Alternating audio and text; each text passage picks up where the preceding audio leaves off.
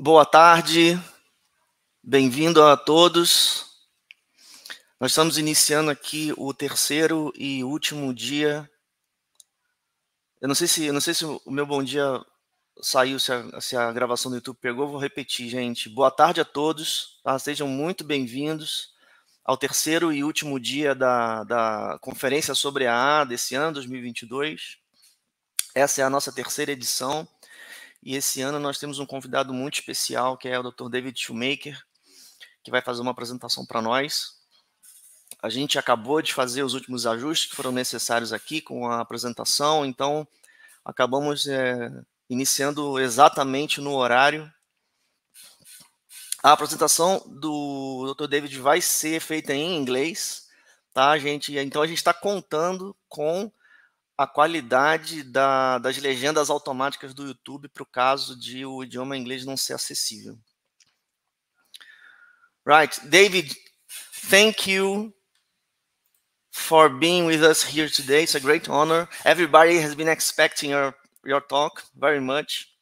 Thank you very we much. Already have, we already have many uh, appreciative comments here. and uh, and uh, without further delay, uh, I give you the word. All right. Do what thou wilt shall be the whole of the law. Thank you, everyone, for being here. Um, seeing lots of names in the in the chat, so I know we've got uh, a lot of people uh, here. So uh, thank you for being here. Um, my uh, my purpose for today is to share my own experiences with uh, scrying the 30 aethers of the Enochian system. Um, and the, the overarching reason for doing that and for discussing it in the way I want to discuss it today is that I want to look at why we would undertake this kind of visionary work as a part of our personal path, but also the importance of each of us doing that and sharing our results uh, in due time as a way of keeping the system of AA and, and the system of scientific illuminism generally alive and um, helping humanity with our own work. Um, there are many ways that the personal path ends up being a path of service to all humanity, of course, not simply, not only um, visionary work like this. Um, any personal development in the path of AA, ultimately, in my view, is an act of service. Um, we don't simply engage in this work, we don't truly engage in this work purely for our own benefit. I think you've probably in, encountered in your own path and in you know others that you've worked with um, that sometimes when we start this work we we want to have great power or we want to be able to you know do all the cool things we think magicians do. But um, that tends to wear off fairly quickly when we actually dig into our to our transformation the transformation of the self. And we soon discover that all of these powers and um, tools that were built in the path of aa are ultimately um, designed to bring us to knowledge and conversation of the holy guardian angel but in doing so to bring us in harmony with our true will and therefore in harmony with the will of the universe and therefore um, to be of service to all of humanity and, and living that will out. So, um, in the system of AA, as you know, um, the the Enochian corpus uh, of, of, work is uh, primarily presented as Liber Chanokh. Um, there's not a whole lot in there formally uh, in terms of training and testing on Enochian work. This uh, ends up being the kind of thing that varies somewhat depending on the specialty of the supervising initiate um, that a, a, given individual might have. It depends somewhat on the personal interests of an initiate. I can imagine some um, aspirants of AA tend to focus on Enochian. Some might decide that their particular um, what particularly appeals to them is some other aspect of magical practice, such as Solomonic work or something else. Um, so not everyone's going to be an expert at everything, but I think everyone in AA eventually uh, across the the grades of um, needs to be familiar with these tools to some degree. Um, so um,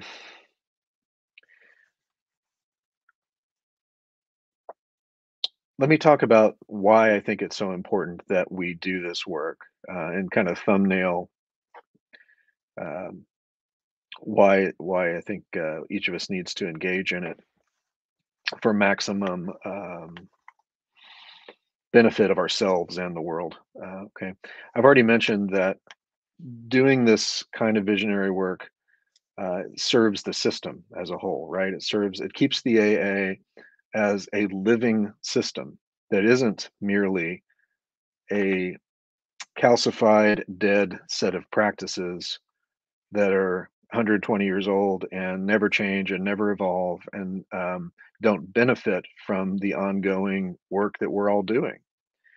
Um, if you if you look at the way Crowley set up the system, you can tell that he felt it was important to maintain the the hallmarks, the landmarks of the system, the way that Liber 185 presents the testing and training tasks and, and so on. Uh, you can felt it was important for these core documents, additional documents of AA to be in there. Um, you can all that he would not have liked the idea that research stops you know and that's one one of the great things about about the, this conference and conferences like this is that you're clearly looking at what each new aspirant bring to the the work and how the the AA work actually expands and grows based on the uniqueness of each person following the system. And I think appreciated that um, perhaps he wouldn't have liked the idea that after him and do a better job at something than he did. But um, I, I, think uh, for any system to grow over time, that has to happen to do better than the people who came before us, and the people who come after us have to do better than we are. Otherwise, uh, it's it, it's not good. It's not not a good recipe for for evolution. Um, so it keeps the AA a living system for us to be doing this kind of visionary work and research. It also creates and sustains the inner contacts, um, at least for a magician using these tools competently, um, who has worked on themselves to get where they can make genuinely make these contacts with the entities being scryed or, or otherwise explored. Um, but eh, as we all work the system of AA, the more of us forge and maintain plane contacts fuel uh, at that astral level that is available for the order itself. Uh, and one is extremely important, an additional reason that we do this work, is that the work itself, the work of scrying the 30 aethers in particular, in my view, is initiatory. Scrying these regions creates, sustains, um, potentiates the initiatory experience of the person doing it. And I'm going to talk in a lot more detail about how I found that to be true for myself um, but I think you can you can probably verify from your own experience so far, whatever you've been doing, that when you start to do certain work, it requires you to um, to grow. Know, if you're doing if you put yourself intentionally into and seriously into a body of magical work, uh, in order to master it, in order to do it successfully, you will change and quite simply, initiation is transformation. It's a change process that's intentional. Um, and scrying these aethers eh, sequentially, I think, is one of the best examples in the AA system of a set of tools that make you grow. Okay. to start sharing my screen now, so I'm going to be unable to see comments um, since all I'll see is my own slideshow. But um, I know the organizers are going to uh, pop in uh, audio uh, wise and interrupt me if if I need to stop and address a comment. We will have time for most of our questions uh, at the end, of course.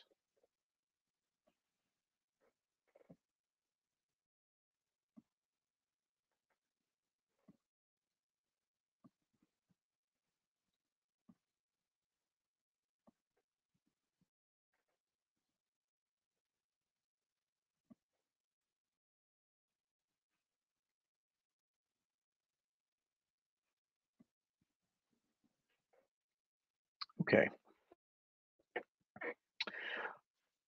So, in postcards to yes, sorry, sorry to interrupt, but just so you know, uh, your slides are not full screen. We can see the controls. I think it's okay, right? It's not a problem. We can read the word. It's very clear, but it's not in fact uh, full screen. you're seeing buttons. Yeah, we can see the the the the, the, the, the right panel saying direction and duration and yes, now it's full screen. Great. Okay. Great. Thank you for letting me know. Um, in Postcards to Probationers, Crowley outlines some of the value of doing visionary work, and I just wanted to briefly review that.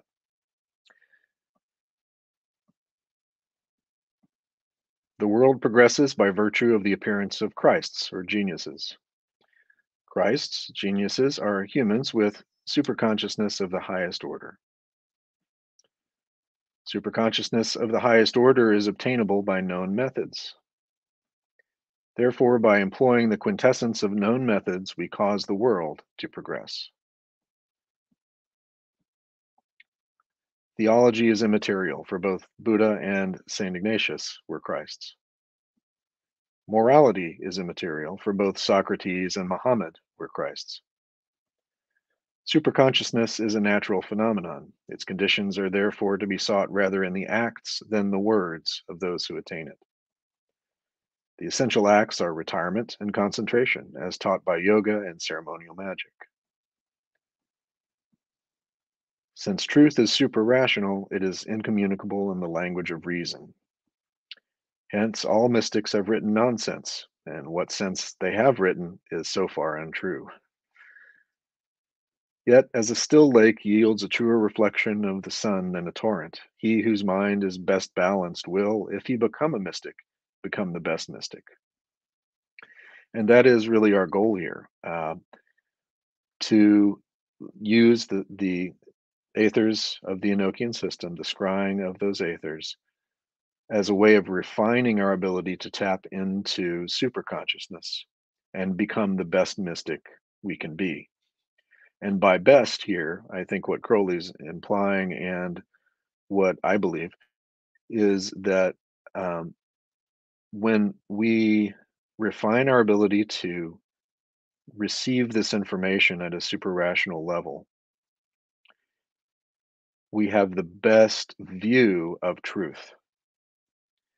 We have the view of truth that is least adulterated by our uh, ego.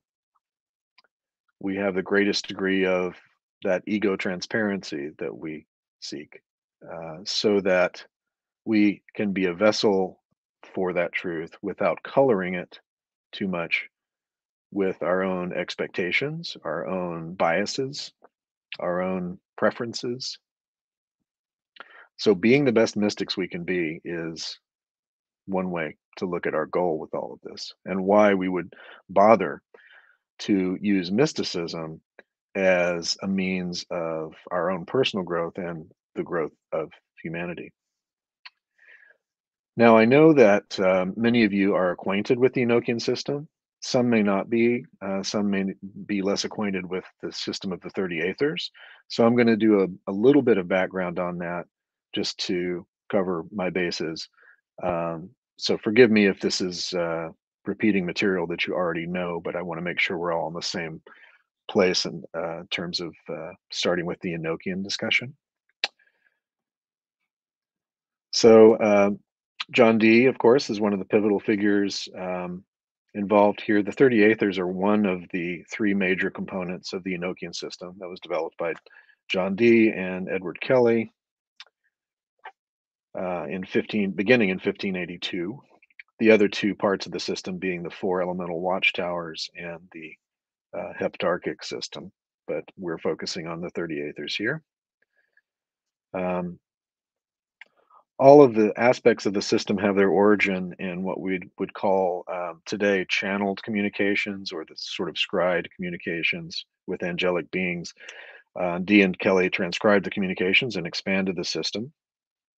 Here's uh, some of their working tools, which are still um, on permanent display at the British Museum in London. Um, I'm always happy to make repeated trips over there and, and see that they're still out there on display. Um, so try to get over there and see that if you possibly can during your lifetime at some point. The interesting thing is that while Dee and Kelley developed this system, they never really worked it fully. Um, they left a lot of things unexplored, and it took people like uh, Aleister Crowley to pick up the pieces there.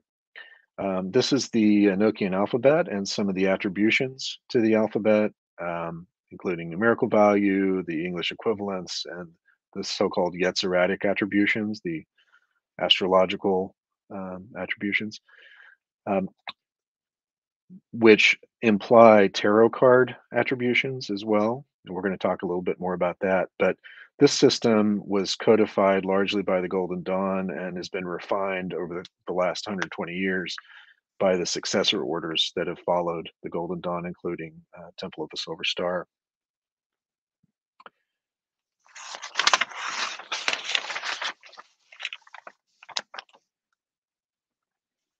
Uh, Crowley had his initial exposure and training in the Enochian system um, via the Golden Dawn, uh, and that planted the seeds of his own visionary work in the Vision and the Voice, which is, the, of course, the document where he recorded his vision of the 30 Aethers.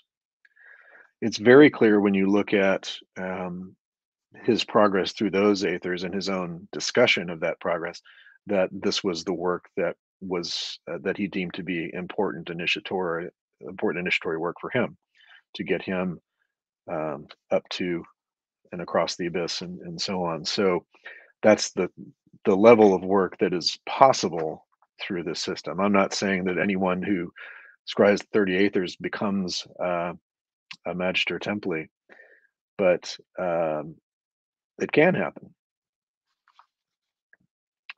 I I have not worked with I mean, I've I've worked with a lot of systems of initiation. I've worked with a lot of initiatory processes, but I have never undertaken uh, scrying work that was as potent as the 30 aethers in terms of my own personal initiatory work. Um, when I set out to do it, uh, this was in 2007. When I set out to do it, uh, I thought maybe, you know, okay, 30 aethers, and I'd probably repeat each one or possibly repeat each one and get through, you know, one every other day, maybe. So I figured about two months would be all I would need.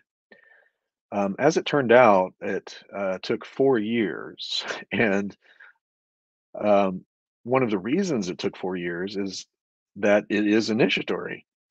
I would do an aether, I would have a vision, and um, plan on continuing right away. Um, I would try to incorporate the instructions information in the vision I'd had, and then plan on, you know, the next day or soon after taking the next step. But what continually happened over and over was that there would be gaps. I would take a few weeks or sometimes even a few months before doing the next one.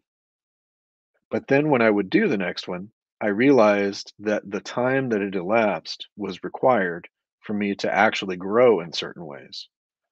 Um, it would be clear from the next vision that that it would give me full understanding of what was instructed in the previous vision. So I would realize that oh, it, when it was saying, you know, to it was giving me th- these symbols and these instructions in the last aether that meant that I needed to grow in this particular way in between before I could even do the, the, the next one.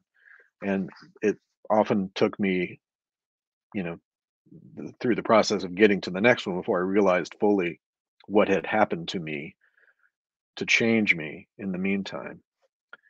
Sometimes that did coincide with actual grade advancements within AA. Um, I did this work after my knowledge and conversation working in 2004. Um, so this was I was undertaking this as as an expansion of my five six work and um, the grades beyond. The work that I did here in the 30 aethers, there's the instructions that came through, the symbols that came through, became an integral part of me taking my own attainment out into the world and trying to do something with it. This is the the work of transitioning from five equals six to six equals five, from adeptus minor to adeptus major. And I'm talking about this this work in theory. I'm not here to publicly claim grades or anything, but I'm trying to to give you some context as best I can.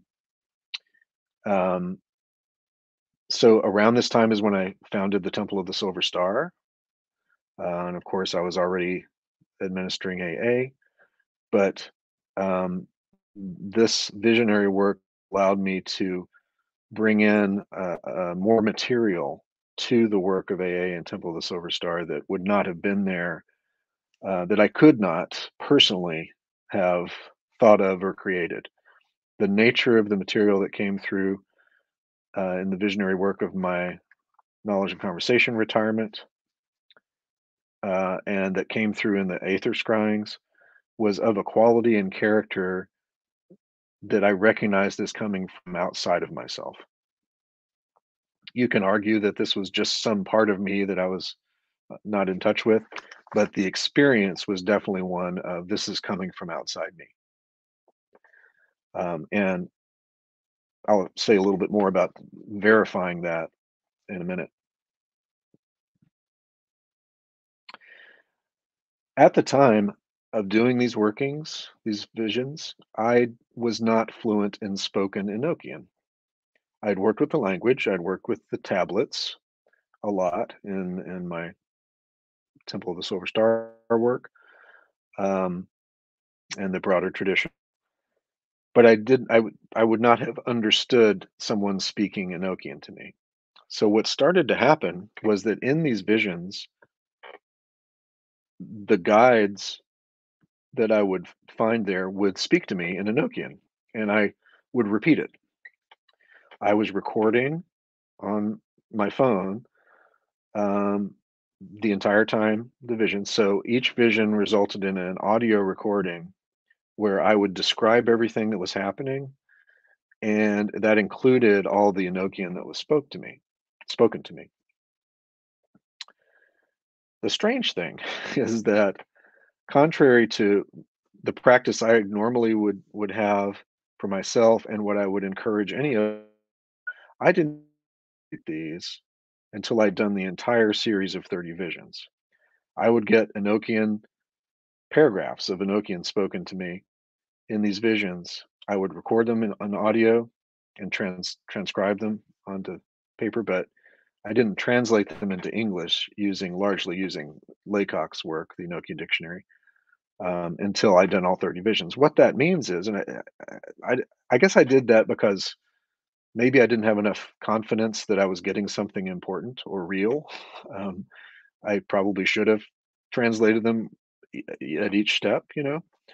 But since I didn't, what that allowed me to do in retrospect is realize that I was getting communications in one aether that were predicting what was going to happen in a later aether.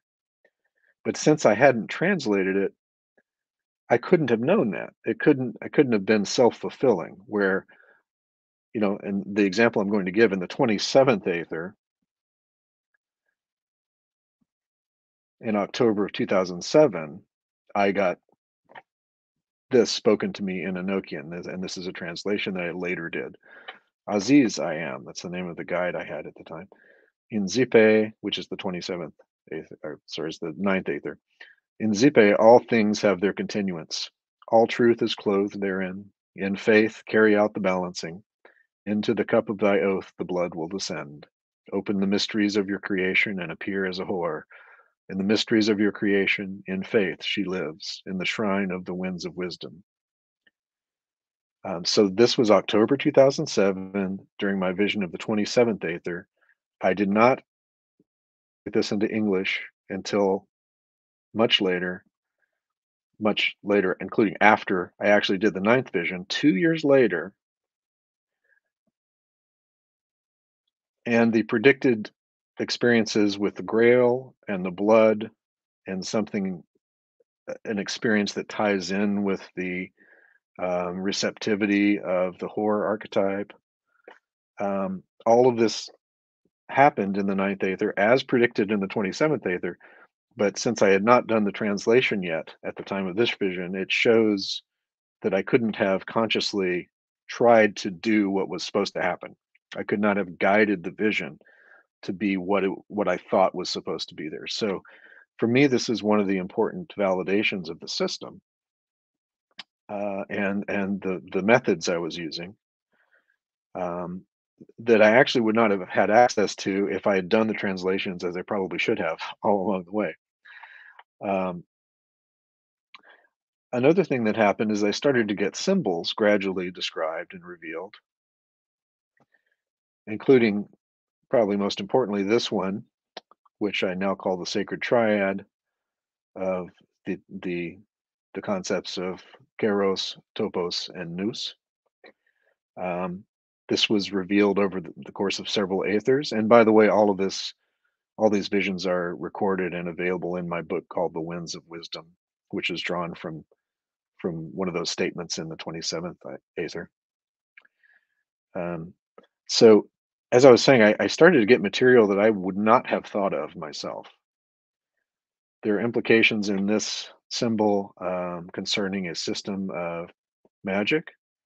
Um, there are symbols like the cross emblem in, at the center that um, had further mysteries that were revealed and have been um, expanded on in Temple of the Silver Star. Um, so I'm not smart enough to come up with everything that was shown to me.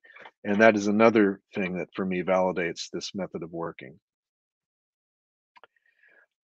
Now, um, I want to back up here uh, away from my personal experience and talk a little bit more about um, how I was conceiving of the aethers and how and how others have also done it. Um, think of the 30 aethers um, as a set of concentric rings surrounding the Earth. So imagine that the, the very center of this diagram is the Earth, and then the next ring out is the 30th Aether, and the next one beyond that is the 29th, and so on. So uh, the 30th Aether would be the one you would start with and would be the one closest to Earth in the sense of the astral realms you're exploring. The theory would be that it would be that sort of the most manifest. Also, um,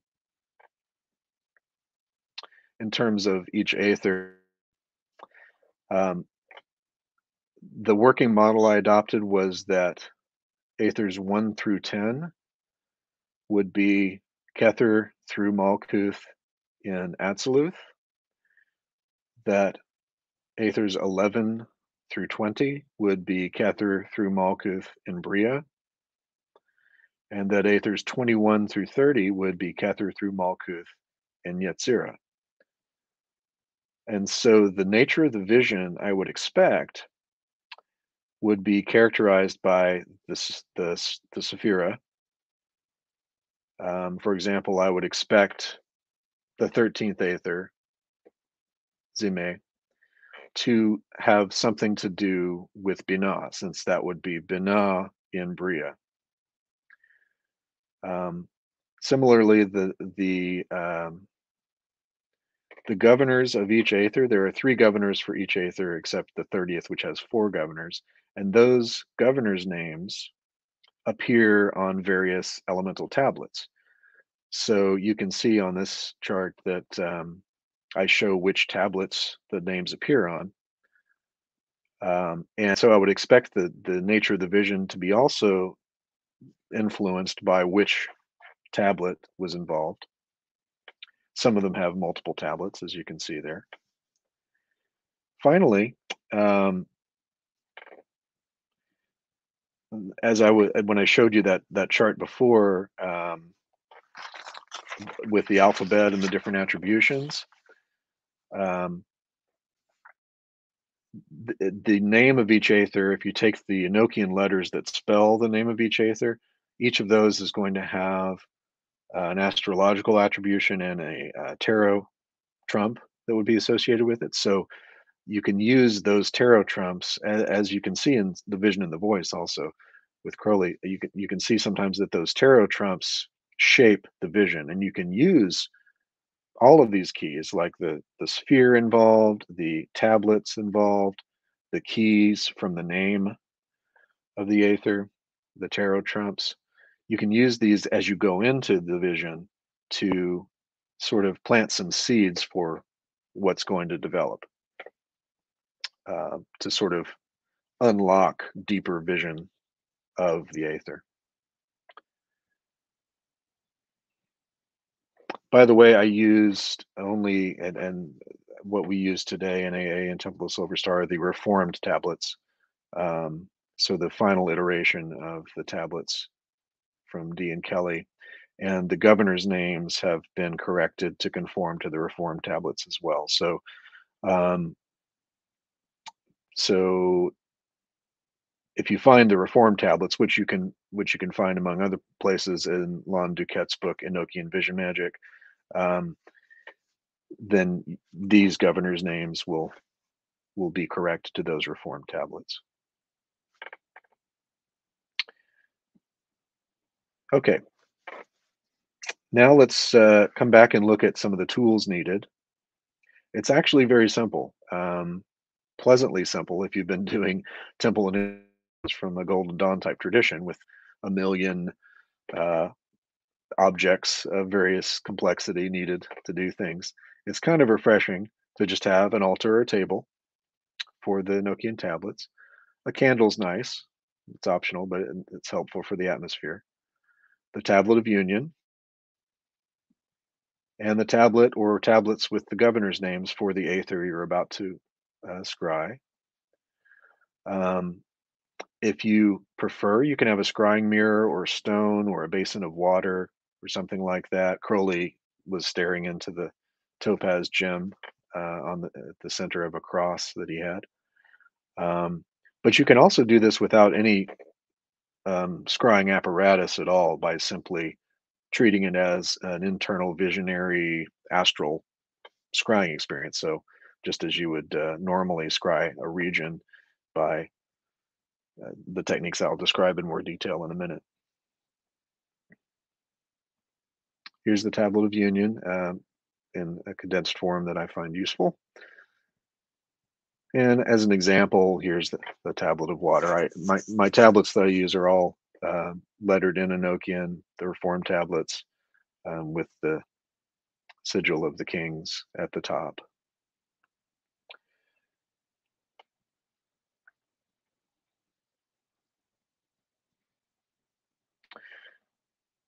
So here is the working method I used, and this is described in full in the Winds of Wisdom also. Avoid eating for several hours before. Avoid uh, sexual release for 12 hours before. These are recommendations. Prepare via ritual bathing. Put on the robe and regalia of your degree or grade as desired. Perform preparatory relaxation and gentle breathing for a few minutes. Prepare the space with lesser banishing ritual of the pentagram and lesser banishing ritual of the hexagram or similar. Um, in this case, things like this, the star ruby would work fine as a pentagram banishing, but the star sapphire to me is is purely an invoking ritual and does not have the banishing effect of a classic lesser banishing ritual of the hexagram. You want to clear the space of elemental, planetary, and zodiacal influences, since elements, zodiac, and planets are so intrinsic to the symbol sets we're using. You don't want the astral space you're in to be colored already by other forces. You want to bring in just the one that you're wanting to focus on.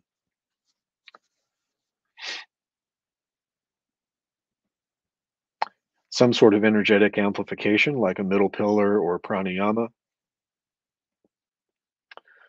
Read or recite the second call to create receptive consciousness.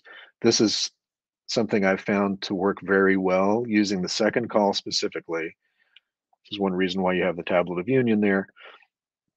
The second call um, creates a certain receptive consciousness that opens you up to whatever comes next.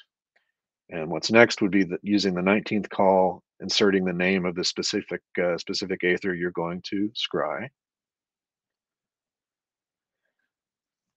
Do an etheric projection, which I'll explain more about in a minute. Rise high, straight up until you get to a space to explore. Chant the governor's names. I found rhythmic chanting works well for this, and I've done that in group scryings as well. You're trying to intense, intensify the vision as much as possible with building up some uh, intensity with chanting. Uh, use the correspondences from the letters of the Aether's name, as I was saying. So you would have three uh, tarot trumps and uh, their associated natures connected with that. You could even have the tarot trumps laid out on the altar. That'd be a good idea. Call for a guide and do the usual testing of the guide. I'll describe more about that in a minute. Scry as long as you desire. Then uh, do something that is the equivalent of returning to your body, returning to your sense of here and now and in in this space, and do a classical license to depart. You know, something like, um, in the name of Ra-Hoor-Khuit, I now set free any spirits which may have been imprisoned by this ceremony. Depart in peace unto your abodes and habitations. Be there peace between us, and be ready to come when called. Do a single knock and feel the space clear. And then if you feel like more clearing is needed, you can do more banishings, like repeating an LBRP and LBRH. But uh, you can decide at the moment if it feels necessary. Um, I um, uh, for the calls, I recommend that you always read them in Enochian, and if you wish, also in English or Portuguese, but um, at least Enochian. I think they have their greatest potency when when read in Enochian. Um, you can read the calls multiple times. Um, you can recite the, you can chant the governor's names multiple times. You can have multiple guides that you work with. So there's really no rules about this other than show good sense in your magical hygiene. So um, here are some other suggestions that, for use in astral work, regardless of the system you're using. So this this would be any sort of scrying, um, whether or not it's the Aethers. Uh, so you're starting with etheric projection. Externalize a force outside of your body, shape it into um, an etheric double of yourself, which might be um, you robed in your in the robe of your grade and and sort of appearing as an idealized uh, version of yourself as as a magician and then transfer your consciousness into that etheric double. Once you are able to move around the room and uh, feel yourself in that etheric double, then start rising straight up into the air. And this is where we sort of bridge from an etheric projection into an astral projection. Um, you're not dealing with forms that are simply uh, modeled around the physical room you're in, but in entirely different landscapes and regions altogether. So you rise straight up um, as high as you can um, until you seem to get somewhere. There should be a, a landscape that appears, or uh, a figure of some kind, an entity, or simply a sense that you've gotten where you need to go. this is where it may be useful to think of the tarot cards or the astrological regions that that probably are involved based on the name of the aether. Call for a guide um, and test them with usual procedures. There, you can get uh, various suggestions from Crowley on how to do this, like in his notes for an astral atlas, uh, also in Liber O. So you might want to test an entity with grade signs, or say, "Do what thou wilt shall be the whole of the law" to it, and it should respond with "Love is the law, love under will." If you get something that seems false, just draw a banishing pentagram and send it away. In any case, uh, if a guide appears and you and they pass your tests, you're satisfied they're real. Um, then uh, ask for their name, ask for the spelling of the name. Um, compare the name to what you know of Gematria and the symbols that you expect to be keyed to this region. So if you're exploring a region that uh, is drawn from the fire tablet and you get you get to a watery landscape, you might not be in the right place, or you if you get a guide that seems to be of a different element, um, you might not be in the right place. Um, if something's bothering you, um, harassing you, um, grow yourself very large and take the form of Ra-Hoor-Khuit and banish it. Um, it will not. It will not bother you after that but do whatever other exploration you wish. Um, you might repeat the governor's names. You might, uh, um, again, repeat the, the, the calling to mind of the tarot trumps that maybe are related to the region you're scrying. Just use your own creativity and ingenuity to to explore.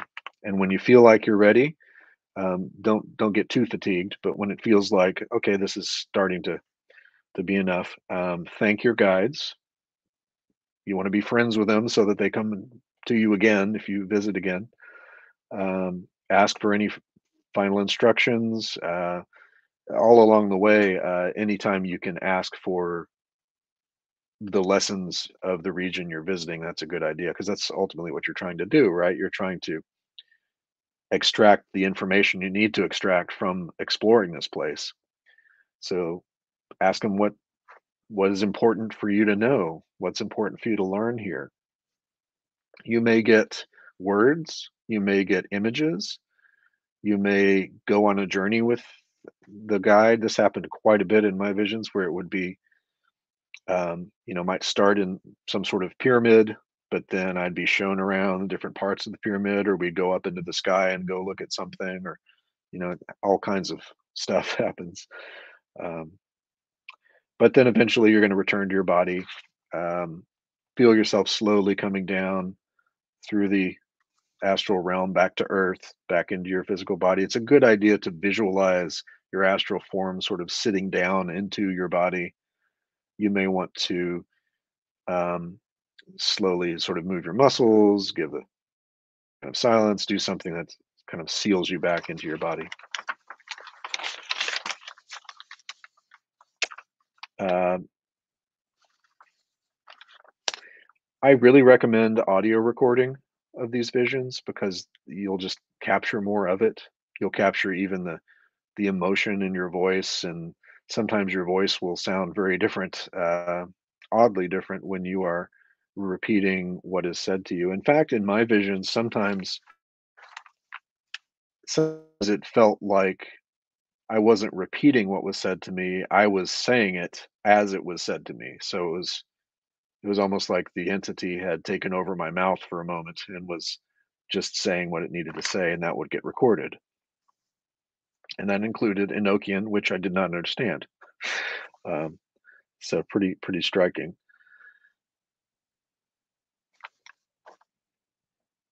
So this is a summary of it for uh, as an example of the 30th Aether of Texei. Um, you can see the spelling at the top in Enochian. Those three Enochian letters correspond to the moon, Virgo, and Earth. Uh, therefore, the priestess, hermit, and universe trumps. So that would be some. Those would be keys for this particular vision. Those four governors' names. Um, those are the four governors of Texas, and it, the names are drawn from the tablet of water. So you'd have the tablet of union, the tablet of water, and you'd be chanting these governors' names over and over again. And what's what appears there after the governor's names in Enochian or you know English lettering of the Enochian um, would be the phonetic pronunciation if you were doing the the chanting. So for the first one, you know, ta a o ge ba, for example. Okay. Um, let's come back to the sacred triad. I want to talk about the material that came through in these visions, not because I expect you to believe that this is necessarily important for you, but it certainly was important for me. And it became important in terms of the way I was constructing and developing the system of the Temple of the Silver Star and uh, bringing the results of these visions into that system. Um, I've integrated this material into Temple of the Silver Star with specific practices. Um, there's there's meditative work based on this. There is theoretical discussion of it. There is magical practice, magical ritual work that comes from this, and there are devotional elements.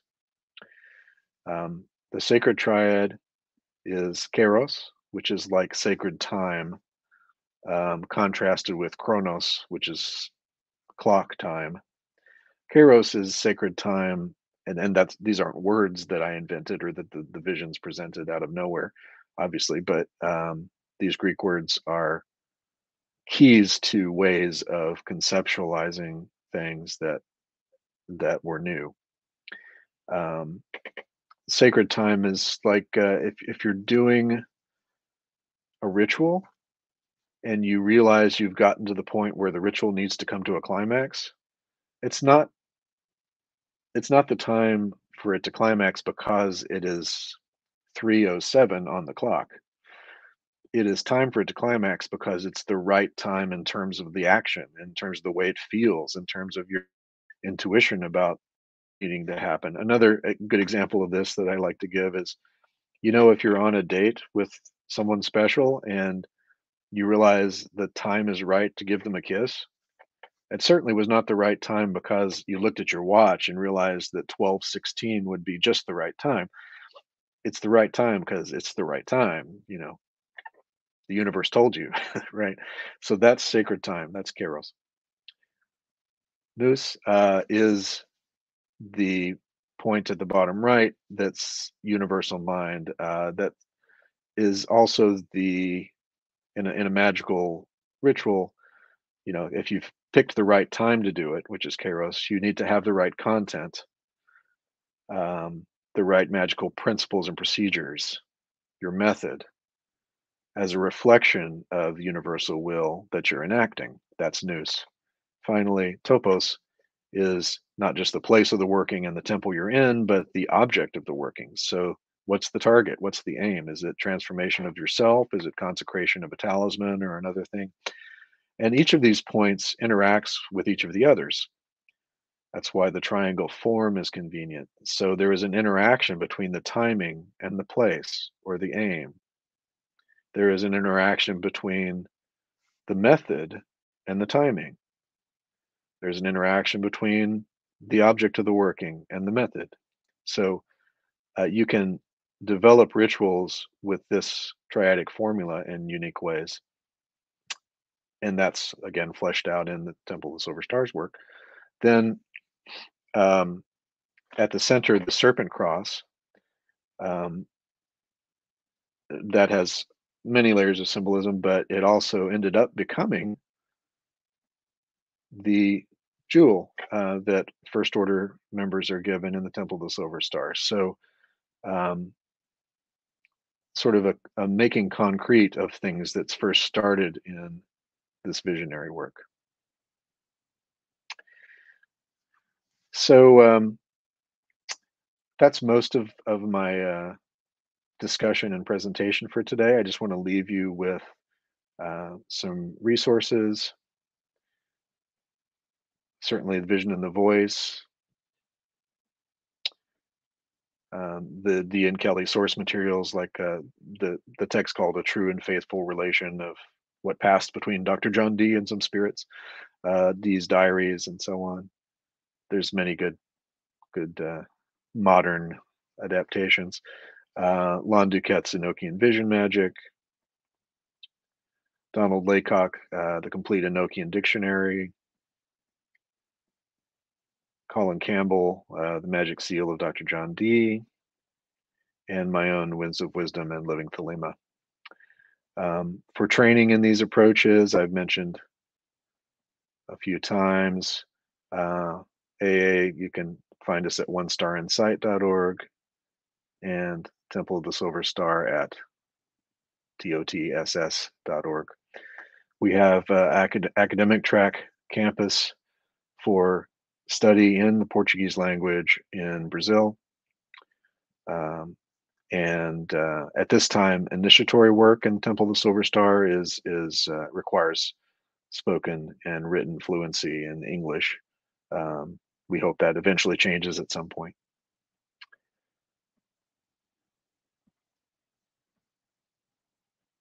Okay, so at this point, I'm going to um, back out of this presentation so that I can see the rest of you and see comments and such, and I'll uh, be happy to take any questions that you might have.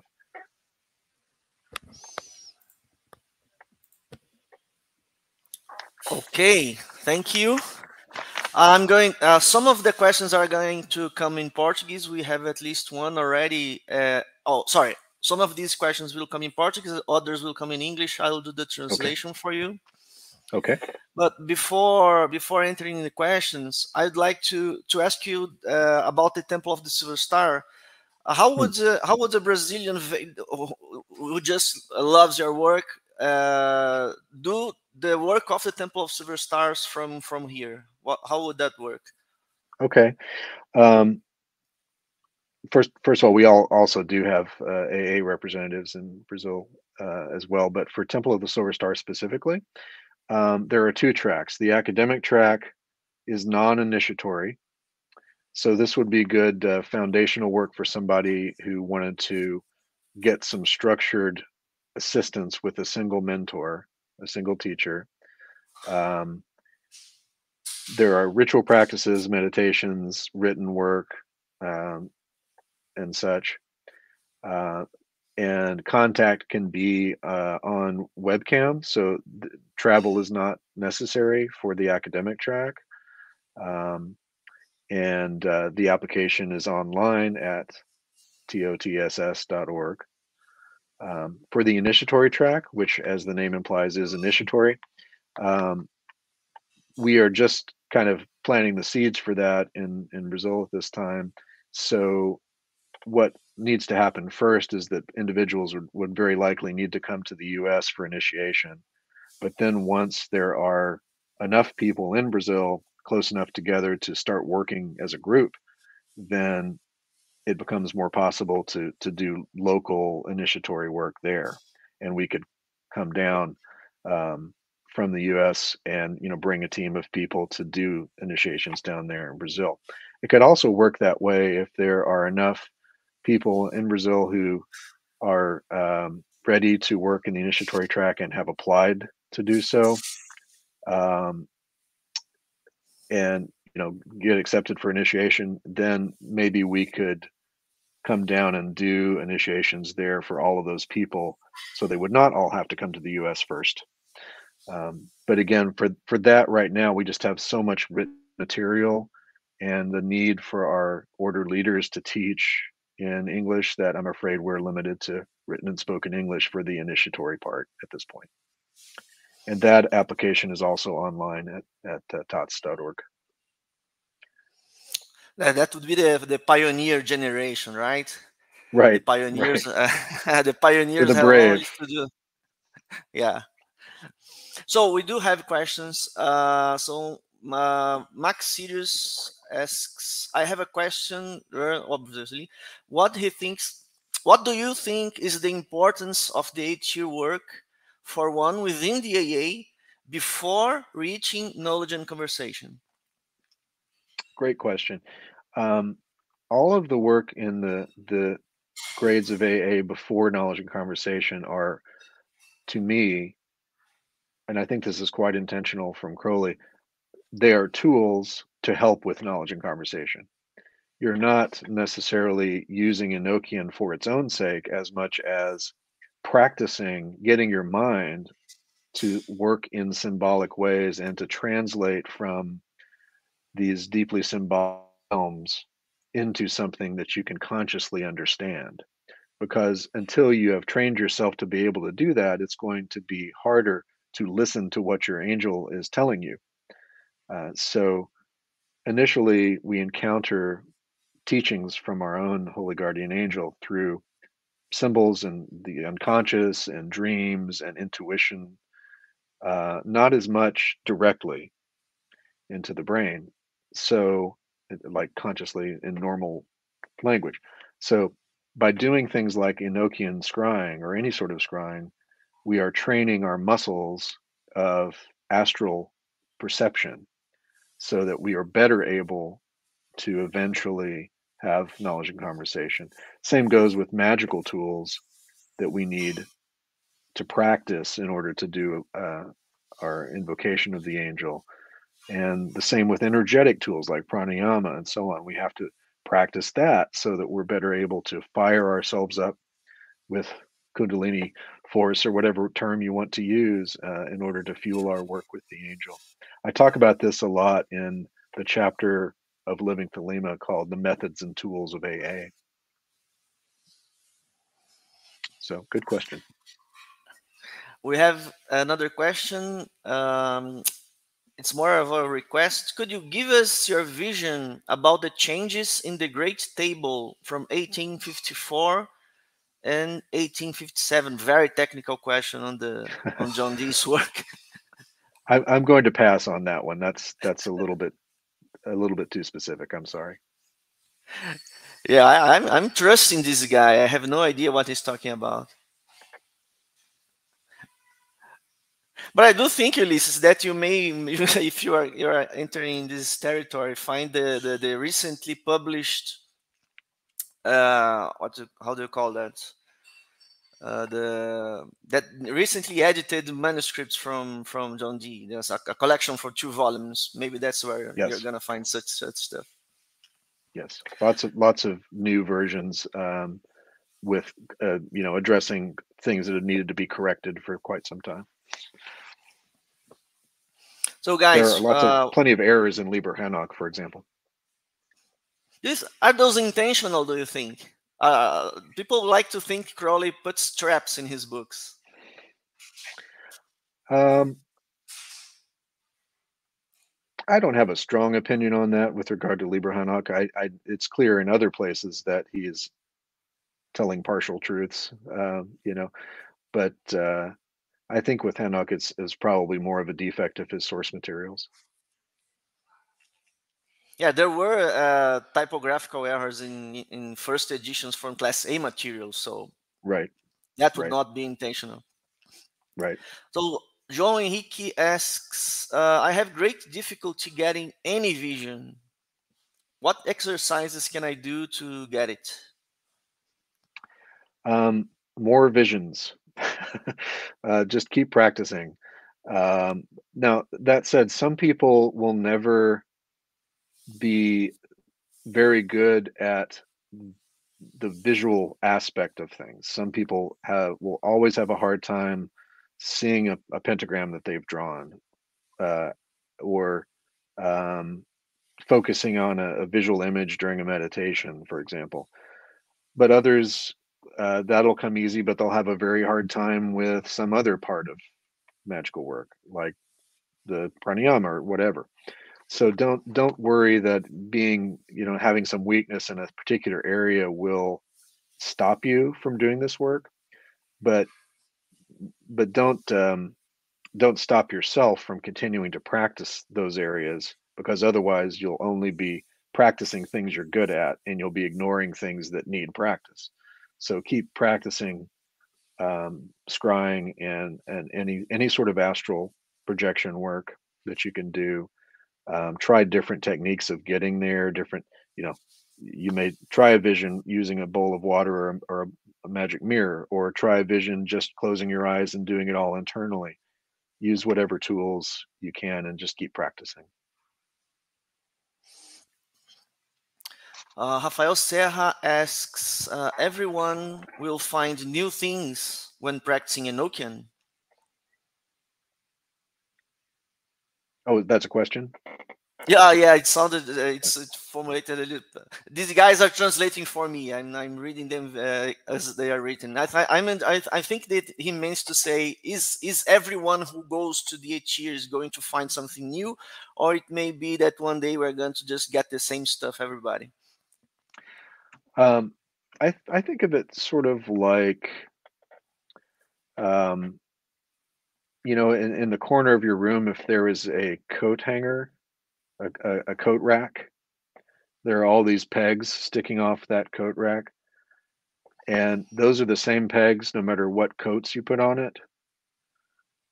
But the coat you put on it is yours and yours alone. So I think with the with the Enochian Aethers, there are basic forms that will define the the the nature of that realm but how you clothe those symbols with detail will be very much individual it's it's a bit like we understand what archetypes are from a jungian point of view that there are certain tendencies of of of thought forms that then get clothed with individual experience and thought and feeling and symbol. Um, so everyone will get something that's unique to them, um, but we would expect that the tendencies of those things would be to fall under the the same kind of categories you would expect for that particular region. Uh, now that, that reminds me to say something I intended to say earlier, which is in this system, if you're if you're not ready for the vision, you might get garbage. You know, if if you're not at an appropriate level of initiation and sensitivity to get what you might ideally get from the vision, it's not going to hurt you. You might just get something that's not very useful.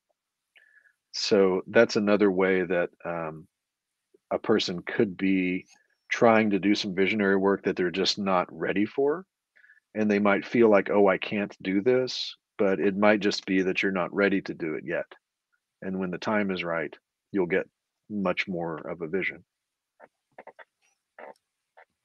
We have a very related question from Lose Your Illusions. Uh, do the Enochian works, mm, uh, do you see the Enochian works being incorporated as part of the AA structure? or is it something that's just related? Well, you see, um, you see uh, Liber Chanokh assigned to the Practicus, um, but as I was saying earlier, any particular uh, aspirant may decide they want to specialize in deeper work in the Enochian system, or you may let's say you're you're a practicus and your supervising philosophus happens to be an expert in the Enochian part of the system, you might get more training on Enochian than you would from some other supervising initiate. Um, but the basics of the system will always contain some Enochian work. Um,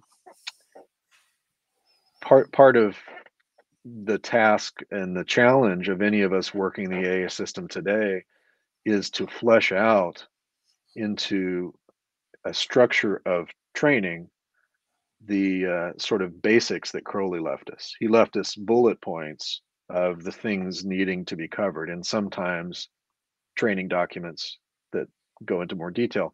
But in a lot of places, you can you can tell that he was assuming that each person doing the teaching would bring everything they knew to the table to flesh it out and to help the people they were teaching uh, in more detailed ways. So uh, I guess that's that's a general comment on the system. This one I will try to translate. Um, is there any importance? I mean, I mean, I, think he meant to ask if there is importance for the probationist to do the Enochian works, or if this is something that is a I don't know. I, I'm not sure what he meant. I'm I'm uh, I'm trying to I'm trying to understand. Hmm. Is it important for the probationist to do a complete vision, or is it, or is it acceptable for the probationist to just try and ju- to just get it going and, and and wait for it to develop in, along the way? The probationer is assigned to try a lot of things a little bit. so the probationer will sample a lot of things and probably not get very good at any of them, and that's okay. The uh, in my view, the the purpose of the probation is to establish a routine of daily practice and diary keeping, to acquaint oneself with all of the material in the in the curriculum, so that the neophyte who's supervising can determine if if this person is going to do the work and is going to to stick to it.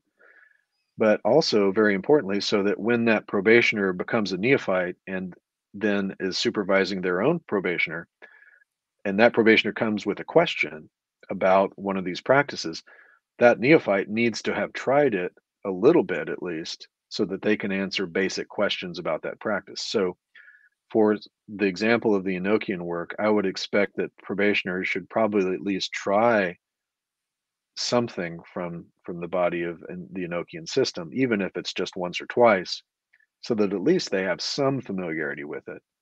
No, not mastery of it, not deep understanding, not exalted initiatory visions, but just trying it. Uh, similarly, um, you know, someone a probationer who's spent one year practicing some basic uh, meditation techniques is not going to have not very likely to have um, a very uh, they're not going to be an, an advanced meditation practitioner. But when they're supervising somebody who's just getting started they'll be able to answer basic questions like what do you do if you get a cramp in your leg what do you do if you're trying to visualize a triangle and it keeps spinning around you know you you just need to be able to answer basic questions uh, Cissa Mello asks us uh, that she contextualizes. There's a lot of people who says that the Enochian is dangerous, mm-hmm. and that you should not do it because it is dangerous. So it should be reserved to somebody with more experience or being guided by someone with more experience. And then she asks, What do you think about this? My experience of the entities involved in the Enochian system is that they are interested in helping us. I have never had an experience with this system that suggested to me that there was anything, any any entities in, involved that uh, had negative intentions, uh, harmful intentions. Um, I think the most likely outcome, if someone attempts this work before they're really inwardly ready to, is that they simply won't get much useful result. Um, I do think, for that reason, it's it makes a lot of sense to to focus on other foundational practices first, and to work for quite some time, years, with a lot of other more basic practices so that you're better able to do Enochian work and other more advanced work. It's not a question of harm as much as um, readiness. Uh, like with a physical exercise, you could just jump in and do a more advanced, uh, you know, try try to run a marathon after you you uh, just started uh, running a week ago, but um, you won't be able to you know you won't be able to do it uh, so pacing yourself and having a structure and um, learning from someone who's already mastered it is very helpful uh, lucas alberto asks another Ah, this is another interesting question about the, the, the, the technical aspects. What do you think about the many versions of the Sigillum Dei Aemeth? Is there a better version, the most correct? Um, I think eh, I would just generally say, I, I, again, that's a very specific question, but uh, I I would say if you turn to the more recent, uh, more recently released books that have presented the Enochian system and corrected errors that have persisted over over the years, I, I think you'll be fine. I wouldn't I wouldn't get um, too worried about that. João Henrique asks one of those polemical questions about astral beings. What do you personally think that the Enochian entities are? Um, there seem to be, to, this is my opinion. Okay, I'm not trying to say what is true, you know, for everyone.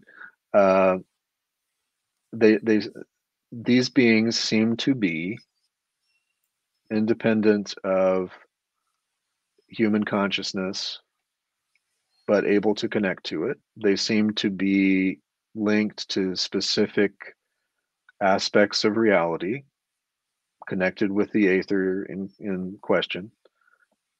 Um, they seem to be um,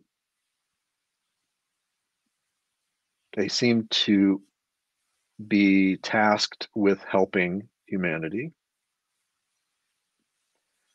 Um, and while all that feels true to me, based on my experience, it would not bother me if someone came along and said that they were merely aspects of my own mind that I was unfamiliar with. That's not the way it feels to me, but someone could take that entirely materialistic sort of psychological approach to it and still get a lot out of the system. The the good part of that and i get similar questions about the the holy guardian angel. Is this just a part of us or is this an external being? Um, the the the good news is that when you do the work you get all the answers you need about it because your experience tells you what you need to know. Um, it won't help if someone has told you oh it's an external being or oh it's just a part of your mind that won't matter uh, unless you've let those expectations limit you. So I, I just tell you what it seemed like to me, and I encourage everyone to come to their own conclusions through practice. About this this sort of uh, questions, I have one of my own, which is about the the, the similarities and differences of these two uh, concepts: the Aethers and the astral plane. We have this very broad conception of the astral plane.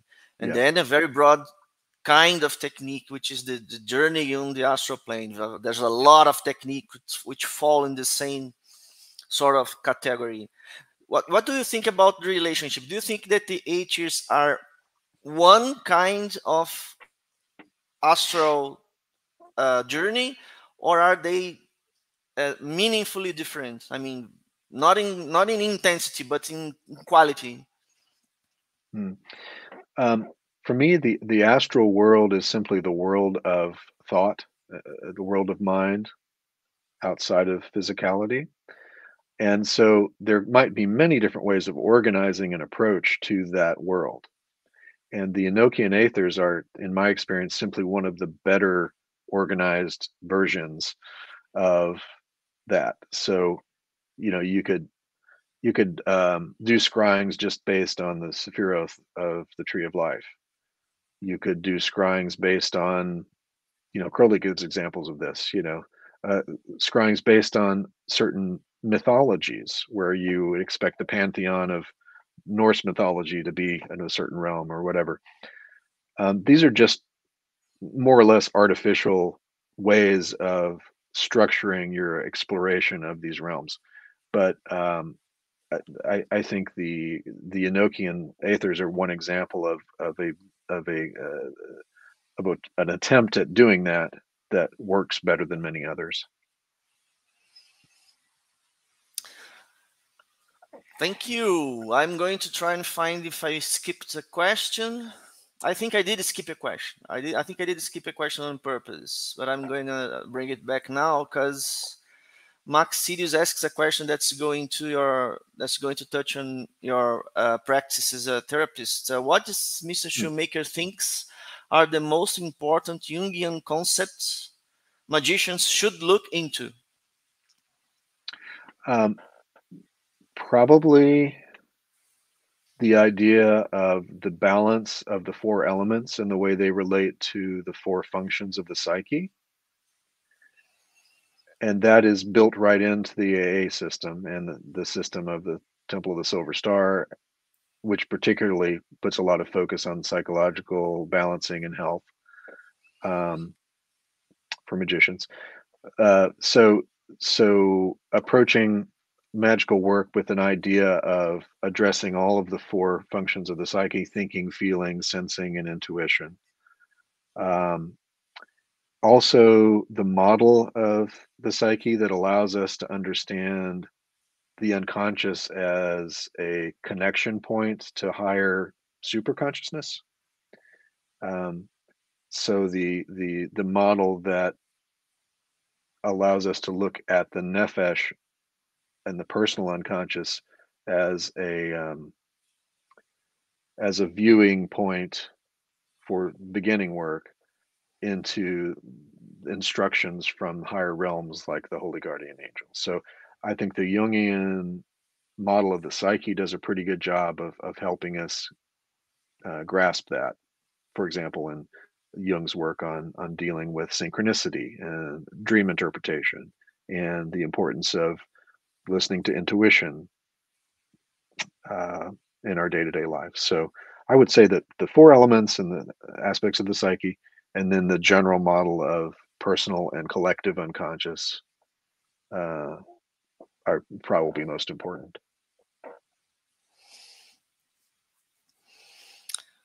Okay i think i'm going to uh, search for one more question before we we we finish our event we have another question for Max. Do you think Enochian obeys a specific aesthetic, an aesthetic of, uh, of his own, I think, or it depends on the practitioner?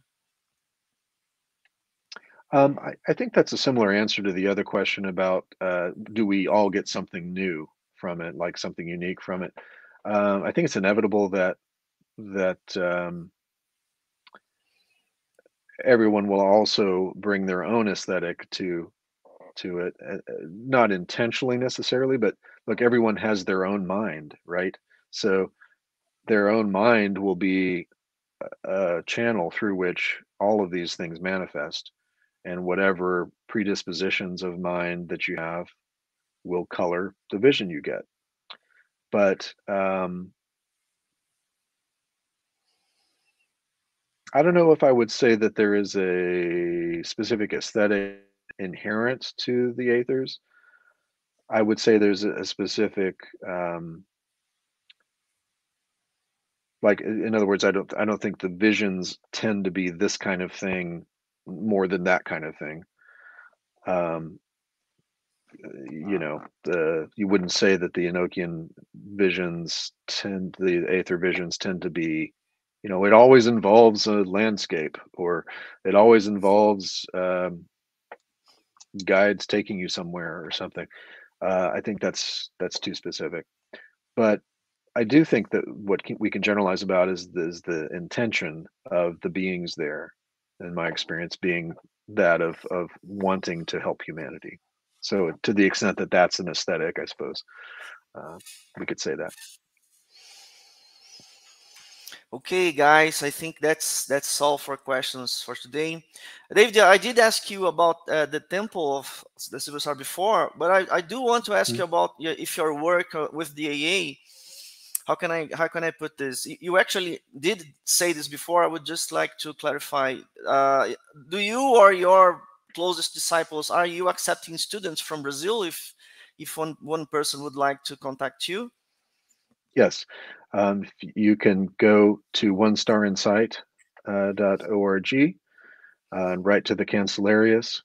um, indicate that you are in Brazil, and uh, if you prefer uh, English or Portuguese language, um, we do instruct uh, in Portuguese in Brazil for AA. So um, um, the Classic Student Program is available where you acquire the books uh, on the list we provide you and study them for at least three months. And if you pass an exam on those books, then you're uh, offered admission as a probationer. So um, you can write to the, the Cancellarius at onestarinsight.org. It's great. The, the, the world is getting smaller, right? Now we have email. it's much That's quicker right. for us to speak to one another. Dave, I would like to, to thank you again so very much for you being here with us today. Uh, your work is excellent. We all love it. We all have your books, man. So, if you would like to give us uh, your last words, that would be great. Well, mostly thank you um, for having me on, and thanks to everyone who was here and listened to me uh, rant for a while. Um, but if if I can if I can leave everyone with with one thing, it would be um, to trust that if you just keep up your work through the frustrations you'll inevitably have, um, if you if you believe that you can grow and advance in this system and you don't stop working, um, you will have success. Uh, I've never seen anyone do the system and fail I've seen them fail by stopping. So don't give it up. Keep up your work. Um, get help with teachers or training systems if that's what feels right to you. Um, and uh, in, in that regard, whether you seek out an organization I'm involved with or some other organization or no organization, um, I just want you to find a spiritual home that is fruitful for you uh, and uh, and I encourage you to to never stop in your in your uh, aspiration. So thank you for for being here. Thank you. Pessoal, então esse é o último dia, esse foi o último dia da nossa conferência. Uh, agradeço muito a presença de todos. Espero que vocês tenham aproveitado. Né? Esse ano a gente teve um evento um pouco mais, um pouquinho menos é, preenchido, né? No ano passado a gente teve uma atividade muito longa no sábado, né? Mas eu espero que no ano que vem a gente possa trazer mais pesquisa, que as pessoas se animem a submeter mais pesquisas, pesquisas que elas estiverem fazendo. Lembrando a todos que essa gravação vai ficar no YouTube, né? Então todos esses, esses três dias de trabalho vão ficar registrados para a posteridade a gente faz questão de deixar o nosso canal lá é, registrado sem monetização. Esse trabalho não é um trabalho que vai ser monetizado jamais. Em breve, os trabalhos escritos e os slides vão ser colocados num sitezinho que a gente criou para esse evento e o link dessas coisas todas vão ser colocados na descrição dos vídeos. Tá? Então, pessoal, agradeço mais uma vez a presença de todos e até o ano que vem.